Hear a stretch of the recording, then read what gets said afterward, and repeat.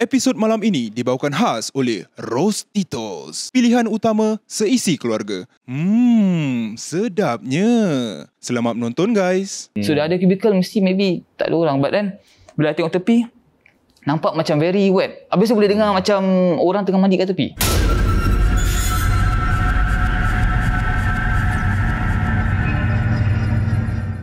Assalamualaikum semua, kita ketemu lagi dalam uh, Puaka uh, dan seperti biasa setiap minggu uh, saya akan menjemput uh, individu-individu yang ingin uh, ceritakan ataupun kongsi sama uh, kisah-kisah puaka mereka. Dan puaka minggu ini uh, seorang uh, pemain bola sepak Singapura uh, dulu kata orang tu sibuk lah Young Lions Young Lions kerana tak young lagi.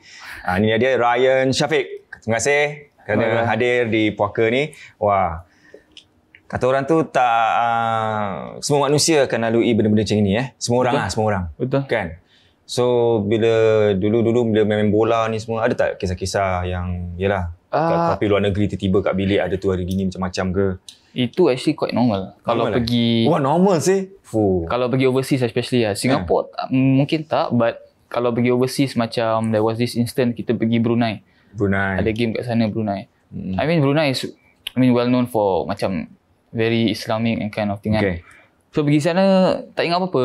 Um, tengah duduk-duduk uh, kawan-kawan kat bilik resting eh. Mm-hmm. Habis dekat uh, our room semua actually really really close. It's not macam hotel-hotel yang macam tepi-tepi. It's all one line. Big hotel bukan? Um, eh tersebut pula. Eh cantik eh. Oh, not bad, not bad. Ah, okay, betul? yeah, so the rooms are all macam one line je. Nothing in front.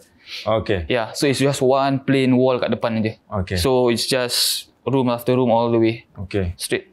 Okay. Yeah. So um so kalau kita were to macam hang out, hmm. kita just keluar bilik je, duduk kat luar pun boleh. Oh, Lagi-lagi okay. wifi kat sana tak kuat. Okay. Ha, jadi okay. so there was this time um kita was trying to get wifi. So macam biasa duduk kat luar hmm. um on the floor duduk and then um kita semua partner up lah. So hmm. in our room semua ada dua orang. Hmm. So there's this um there was this time where two of my friends which is from the other room. Hmm. One of them came out to actually hang out with us. Uh. Satu masih tengah mandi. Okay. So tengah mandi tu, okay lah cerita dia belum lagi, dia belum bilang lagi. Uh. So kita macam biasa, lepak kat luar, berbual-bual, you know, tengok Instagram, everything. Betul. Habis dah, there was this time, dia dah keluar. Dia cakap, eh korang kacau aku eh mandi. Hmm. Dia cakap, kacau? Habis kita macam, apa yang kau beripik ni? Habis okay. dia cakap, oh, um, lampu on off on off. Oh. Because usually kita banyak I would say kita selalu suka uh, kacau each other. Okay. Gurau-gurau kan? Gurau-gurau. Normal lah. Ha, Lelaki kan. Ha, ha. Kita gurau-gurau, kacau-kacau, mandi pun kacau. Ha. Macam gini lah. So, dia ingatkan ni kita on off lampu-lampu. Okay. Dekat dalam tu uh, toilet. Demi lampu eh? Yes. Tapi kita macam, apa yang kita kacau eh? Kita ha. kat luar. Terus kita bilang, uh, oh actually kita tak kacau ni. This time kita serius. Okay. Habis dia macam, eh jangan just, just terperanjat kita tu bulu rumah naik tak tahu oh. nak buat apa and then after that Ya, yeah, kita macam just kena kacau eh. Nak tidur pun nak seram saya hari tu. Yalah, dah orang dah cakap macam itu, mesti dah semua apa ni otak dah tingtong kan. Yeah. Ni cakap pasal kacau-kacau teringat ni. Apa ni uh, saya dengar Cik Wan cerita lah. Uh, think keluarga uh, saudara saya ke apa tak? Tadi tu dia buat macam keramaian tau. Eh, macam gitu lah macam majlis kahwin, ramai macam gathering lah okay. orang kahwin ke rewang-rewang ke okay. gitu kan. So, know kat rumah yang macam ada koridor, tu punya koridor bukan bukan bukan apa bukan corner. Okay. Koridor. So, lepas tu uh, ada orang duduk luar, lepas tu biasalah kalau ada ramai mesti semua cerita seram. Hmm. Tu normal kan. Normal. So, dia cakap, "Eh, ada orang kat dalam, ada orang ada orang juga kat dalam, ada orang di dalam sebab dalam tak ada orang." Okay. Kan semua kat luar. Eh, tu. Sekali dia cakap main-main-main, satu part tu semua ternampak kepala kat tingkap jenguk Ish. gitu. Kepala lah? Kepala. Betul-betul lah. Betul-betul. So, ada orang cakap, kita jangan suka bergurau dengan kawan-kawan. Kadang kita suka macam, eh apa tu, apa tu, apa tu, ha, gitu kan. Kacau-kacau kan. Kalau suka ha. buat macam gitu, suka terbanyakkan orang, nanti tak macam mana akan jadi. Itulah. Ha. Itulah kita nak kena hati-hati. tengok tempat lah, tengok, tempat. Tengok tempat, ha, tengok okay. masa juga kadang. Ha. Cerita lain, lagi? Okay uh, nak pasal bola ni lagi satu juga. Okay. Saya ni selalu kalau training bola selalu last person to keluar daripada training ground lah. Okay. So normally I will be the last person, last person of the pitch, last person of the tanda, semua everything. Okay. Consider last person to leave lah, the whole thing lah. Okay. Um, so macam biasa, um, there was this time tengah mandi. Okay. Cubicle dia ada macam three cubicle tak salah. Dekat Yang training center. Ha. Yeah, there's this pitch dekat lorong 12 lah. Ha. Yeah, so uh, that time I think tinggal me and my I think my kitman lah. Ah. He was always there, the last person to stay to clean up everything. Ah. So when I was there, tengah mandi macam biasa, um, of course tak ada orang kan. Yeah. Tapi yang pelik ni bila tengah mandi tu because dia punya bila you know public toilets you just press dia punya apa nama dia tu shower dia. So Ah. it's quite kuat. Jadi tak boleh dengar sangat apa kat tepi. Ha. But there was this night ni macam peliknya bila dah picit tu mandi macam biasa asal pula tepi pula macam ada air kat bawah. Correct. Because usually cubicle kat tepi okay boleh cakap tak basah okay lah macam orang dah balik kan. Hmm. Yang basah habis kan kita punya cubicle ni. Hmm. So dah ada cubicle mesti maybe tak ada orang but then bila tengok tepi nampak macam very wet. Habis tu boleh dengar macam orang tengah mandi kat tepi. Hmm. I mean tak dengar apa-apa but just dengar shower Hmm. very macam macam boleh rasa ada orang kat tepi. Tu macam pelik ni. So I tunggu tu benda stop terus I macam just stay lah. Itu benda kat tepi pun stop. Eh, ikut stop juga. Stop juga. Ha. Tu dah macam pelik ni. I straight away Keluar. fast gain dengan saw sabun dengan tuala keluar dah cari my kit man dan I cakap dengan dia eh um, tadi ada orang lagi tak tinggal kat sini because usually kadang tak tahu eh mana tu ada orang stay back lambat sikit juga eh, tak perasan eh so I cakap tak only only Ryan lah Oh. itu yang seram sikit tu so since then on nak mandi tu macam Kat tempat sama. Nah. nak last person pun dah macam fikir-fikir okay maybe balik siang bagus juga What if tengah mengis sikit awak tengah tunggu sikit dia begitu macam mana? eh tak boleh Kalau lah Tak kalau, lah, imagine. kalau nampak. Kalau kalau macam mana mesti Jeng. mungkin ada chance tak datang training lagi Tak ada chance Ya. ke tu pingsan? gitu eh? tak tahu maybe pingsan juga Okay. Uh, kalau kat overseas ada, oh tu overseas yang kat. Brunei. Ada satu cerita juga ni yang which uh, saya memang nak share hari lah. Okay. Which is the most uh, the main thing that is closest to me lah. Oh, Yeah, so this thing happened to someone that is close to me. Saya tak nak cakap nama Okay. or boleh. label siapa-siapa but Ah. uh, I would say very close to me. Okay. So um, cerita dia start off macam gini.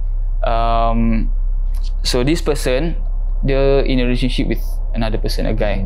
Yeah, so orang you know macam biasa-biasa relationship everything uh, happy-happy Hmm. and there was a, I mean, sometimes you know there's some reason kenapa you want to separate and everything. Mm. So they this person that's closest to me uh, wanted to separate lah Hmm. with the with the other party lah. Hmm. So from then um, the other party wasn't happy. Hmm. So whatever benda-benda yang dia kasih during that relationship period tu dia minta balik. Dia Wow. cakap um, you know even to the extent macam maybe duit-duit yang dia pernah belanja makan let's say Cemburu siku eh. something minta macam balik, eh? school ya. Ah. So dia minta balik every single cent and everything. So rasa macam you know orang dah tak suka nak buat apa kan? Correct. You know what what you want what you want them to what what you expect them to do Right. like force them to like you or things like that so takkan lah macam gitu and then yalah so from then okay tak ingat apa-apa everything and then suddenly macam ada rasa something not right because this person is close to me um, let's label some nama if you want Hmm. siapa Hmm. nak namakan Perempuan lelaki? it's a girl lah Okay. yeah. Ani. Ani Okay. Okay. So Ani ni uh, apa ni macam biasa gini but then there was time ada satu masa ni um, dia dekat maybe dekat rumah Hmm. at start okay kat rumah I don't know you guys pernah experience not macam kat rumah kadang ketuk-ketuk ceiling Hmm. I think it's quite normal for some people but it happens quite Ceiling regular orang ketuk-ketuk. ceiling orang jalan Oh, okay. lari uh, macam dengar macam lari Hmm. uh, marble dropping on the on the ceiling Okay, I experience one. Eh, bukan experience kat rumah kawan. Okay, awak cakap. Awak cerita. Yeah. And then uh, apa macam dengar macam apa ni sofa dragging Ah, Ah. heret eh, heret. ini ini bukan main-main sih ini because I myself pun pernah experience lah Okay. yeah. so Yang experience kat rumah ke kat, kat mana? kat rumah Oh, kat rumah so sendiri? Ani dengan I ni tinggal satu rumah lah Oh, okay. yeah so like I say someone's very close to me kan Ah. And then ya lah I experience at the same time And then slowly rasa macam Ani ni dah lain sikit Okay. Because usually dia rajin masak Okay. Rajin masak as in lunch, dinner Rajin masak kat rumah Okay. So there was a time dia dah macam malam-malam So macam pagi pun tak bangun Tidur Hmm, dia macam Ah, lepak. Macam rasa penat lah dia cakap Okay. So dia bilang Ani ni bilang cakap dia rasa penat Dia penat Dia tak nak rasa macam nak masak Nak tidur je Macam tak larat Tapi selalunya yang peliknya this kind of thing happen during macam 8 pagi around there Hmm. to almost macam 5. Macam office hour. Okay. Orang kerja office hour. Selalu macam gitu eh? Macam gitu lah. Macam maybe maybe dia nak buat macam Ani ni penat tak buat kerja. Okay. Jadi rasa macam pemalas, things like that. So dah rasa macam pelik ni benda gini. So of course bila rasa gini, rasa penat-penat ni, maybe first thing of course first uh, first um, reaction kita nak pergi cari maybe doktor. Hmm. So she went to the doctor um, check dengan doktor, doktor cakap oh nothing much lah. Alright. Yeah, maybe dia cakap dia kasih advice.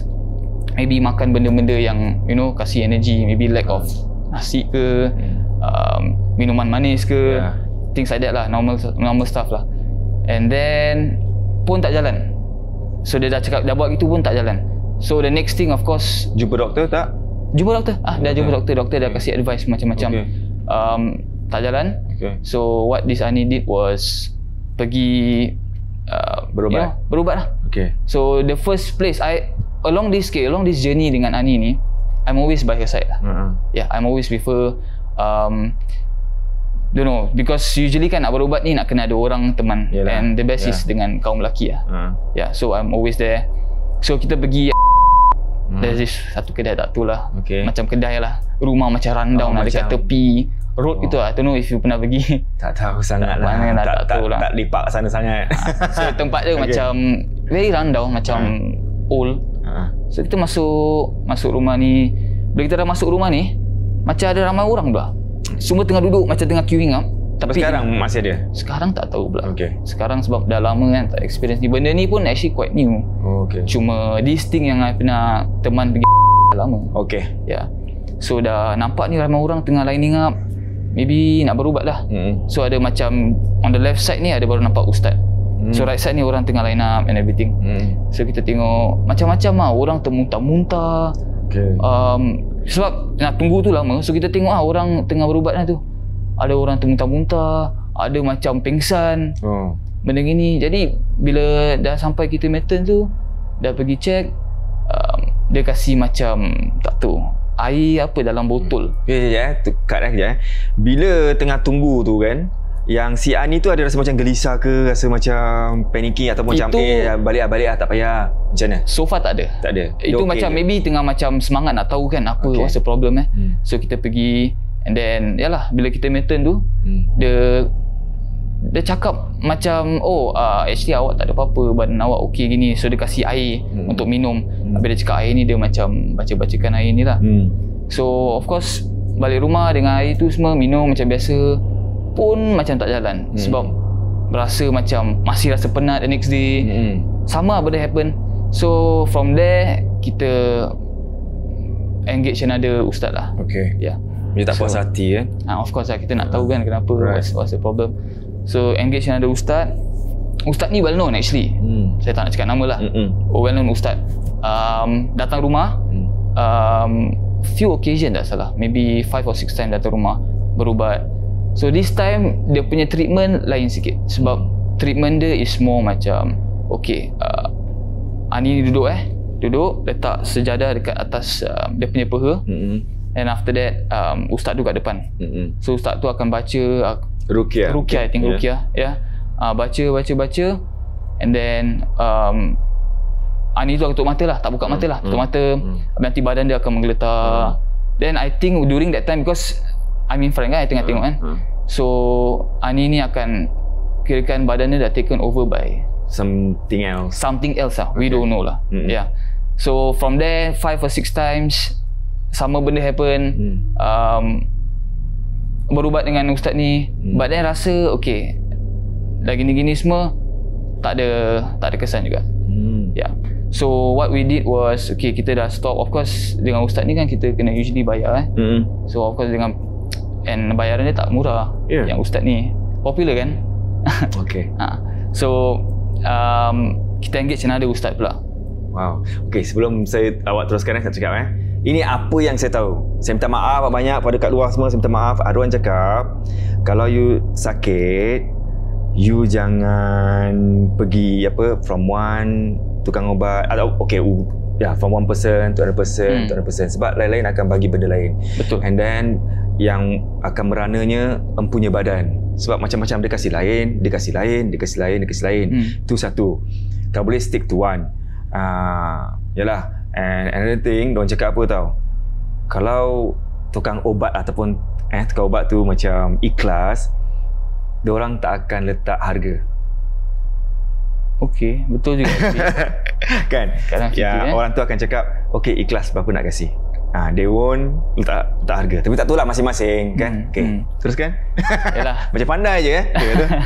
tapi yalah kadang orang ni kita yang I don't know lah tapi Ani ni yang kena kan. Ha. Jadi maybe at the point of time dia desperate tu macam cari Yeah. okey perubatan. Yeah. So at all by all means nak cari something to baikkan diri dia lah. Right. So of course satu tak jalan try the next one. Satu tak jalan try next one.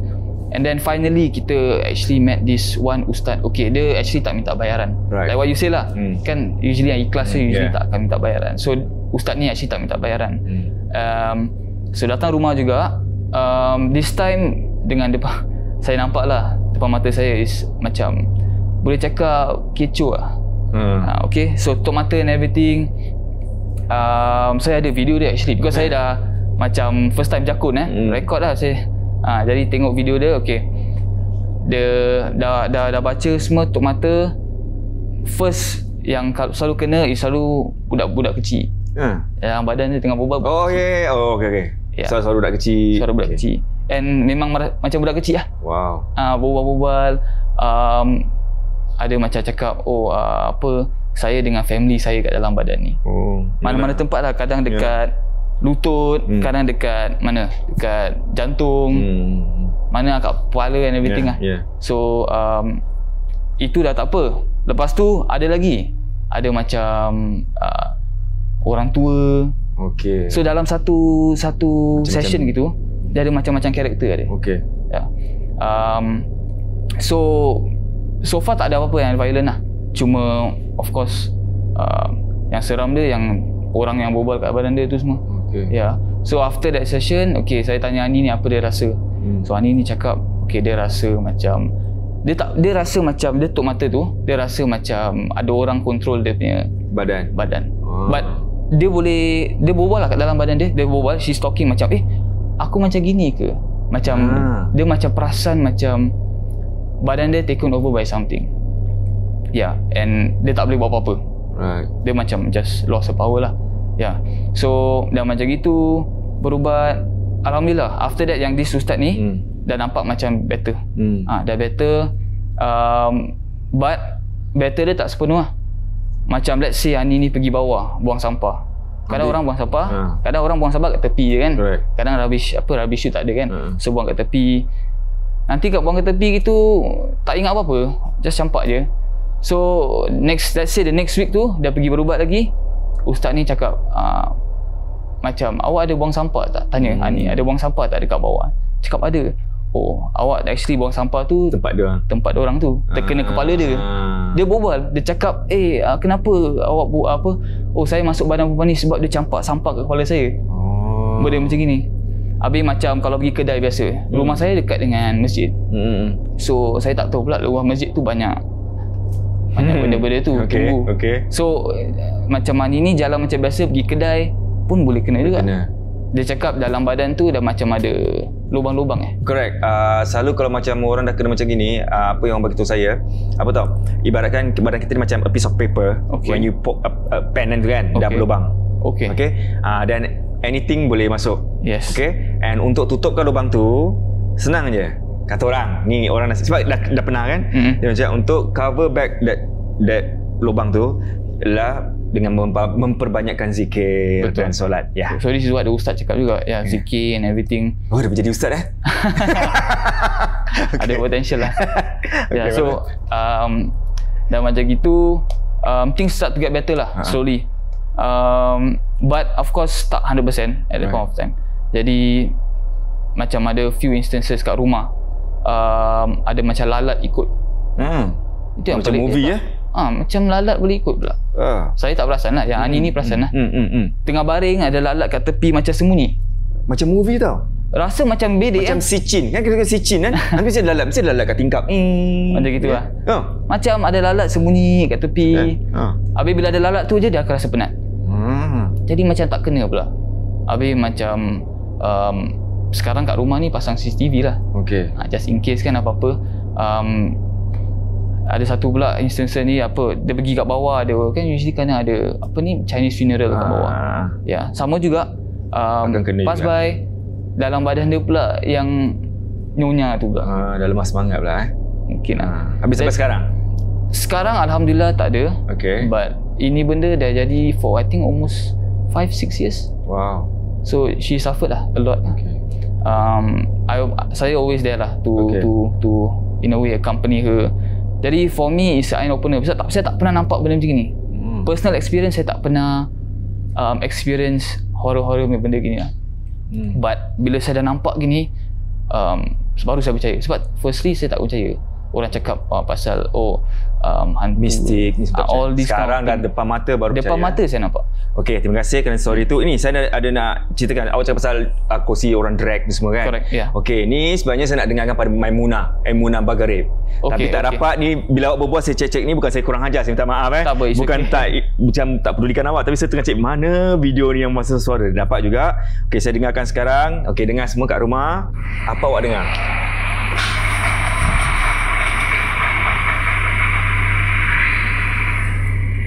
Apa tu?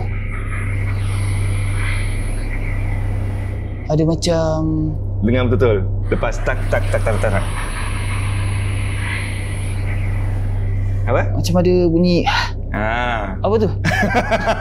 Ah, kan? Bukan Bulu itu rumah panjang dah kan? Terpanjang Puan Azam. Itu panjang juga. Okey. Entahlah, saya kat rumah kawan time tu. Bukan rumah kawan, kawan punya kawan. So, tengah berbual-bual. Yelah bunyi tak tak tak tak. Eh, tutup muka dia. Cakap, ah ni dah biasa dah 6 bulan dah macam gini. Okay, fine. So, saya pula macam, yelah kepo. Tengah duduk bersila kat bawah gini. Saya suruh diam, diam, diam. Rekod. Tak puas hati dia bangun. Kan? Ya. Tak puas hati dia bangun lagi dekat dengan ceiling kan. Takut tak dapat rekod. Bila dekat ceiling tak berapa second aja. Hai. Eh bulu rumah ni. kan Eh. so saya masih simpan tak nak delete kata ada orang pula kalau cakap kalau dah macam gini-gini suruh kasi kan? delete kan Saya pun masih simpan juga. ha, so saya simpan dah lama Alhamdulillah lah ni untuk awak semua dengar kan okay tu Kadang je kadang bukan bukan nak simpan apa. Ha. Kadang satu kali experience kan. betul So kita Betul. just Okay, terima kasih. Eh, nak minum dulu. Terima kasih Ryan kerana, uh, kerana sudi kemari uh, share pengalaman uh, Ryan dan semoga ni nak pergi operation kaki main bola ni semua kan. Semoga sihat dan InsyaAllah. Dan apa ni? Alamak, tak prepare dah pula barang-barangnya. Boleh tak satu minit uh, ada masa lagi kan? Okey, awak berbual cerita kepada kita. Okey, last cerita. Uh, ada tak cerita last? Last. Cerita seram. Cerita tak ada tapi saya rasa something tu macam pengalaman lah. Okey, pengalaman. Macam, Okey, sekarang ah, awak buat seorang. Saya nak lari, nak ambil barang-barang sponsor nak bagi awak. Okey, Ini okey, okey, memang boleh. tak prepare. Lupa. Uh, Okey, silakan. Cerita. Okay. Um, yalah, ada lesson learn lah. Benda macam gini, saya rasa it's not always bad sebab kita belajar from it. Kita kena jadi what kita can do is kita take the positive from it lah. Um, maybe mungkin kita dah salah jalan before this but bila benda macam gini is a uh, pelajaran untuk kita tu dekat dengan uh, dekat dengan kita dengan uh, dengan Allah untuk yalah benda yang senang-senang macam zikir um, solat lima waktu benda gini. Itu yang paling um, ubat yang paling kuat lah untuk saya saya rasa. Jadi ya yeah, you know just um, stay positive je lah kalau awak uh, experience benda macam gini okay Okey, timing pun cantik. Ini Eh. dia. apa ni Sorry, ini uh, yummy takoyaki untuk awak. Wow. Okey, dan ini pula uh, the baking mummy. okay, Okey, biskut. Biskut apa tu, tu, tu tulis tu? chocolate chip eh Chocolate chips. Nampak Lepas tu sedap ini Mina chips. Okay, the salted egg chips. Dan ini Wow, minyak wangi daripada. Wali Fragrance. Untuk Okay. awak. Dan ini saya Thank bukan nak you. cakap apa lah. Sebenarnya dalam uh, salah satu produk ni uh, disponsor oleh mak mertuanya Ryan iaitu Lola wala Wala. Okey, terima kasih banyak. Orang sponsor kita kasi balik, nampak? Okey, itu dia. Kalau awak nak rasa apa-apa yang ada kat sini, okey, semua link kat bawah. Anda boleh klik, anda boleh order lah macam-macam. Dan uh, sekiranya ada ada pengalaman uh, yang ingin kongsi bersama dalam uh, puaka ni boleh tulis kat email ni cakap saya nak uh, bersama Suzari boleh tak nak cerita-cerita okey silakan. Saya welcome you all. Dan okey itu saja. Jangan lupa lepas ini bersama ustaz. Ustaz ada nasihat nak bagi tahu awak. Kita jumpa lagi minggu hadapan dalam puaka tak kira usia. Assalamualaikum warahmatullahi taala wabarakatuh. Nasihat saya untuk hari ini adalah agar kita selalu makan dengan makanan-makanan yang baik. Sebab apa? Sebab Allah Subhanahu wa taala sendiri menyatakan dalam Al-Quran bahawasanya kita wajib makan benda-benda yang bukan hanya halal saja tapi yang selalu kita dengar iaitu tayyiban. Apa maksud tayyiban? Maksud tayyiban adalah perkara-perkara yang baik dan juga menyihatkan. Jadi ada orang yang kadang-kadang kita makan makan makanan yang halal tapi kita lupa bahawasanya halal tersebut apakah dia akan menyihatkan badan kita ataupun tidak. Disebabkan apa? Disebabkan di antara gangguan-gangguan yang mudah sekali uh, uh, didapati oleh orang-orang adalah melalui perutnya. Jadi kalau seseorang itu tidak menjaga daripada segi perutnya, maka dia mudah untuk mendapatkan gangguan-gangguan. Jadi jangan takut pada mereka tapi takutlah pada Allah Subhanahu wa taala.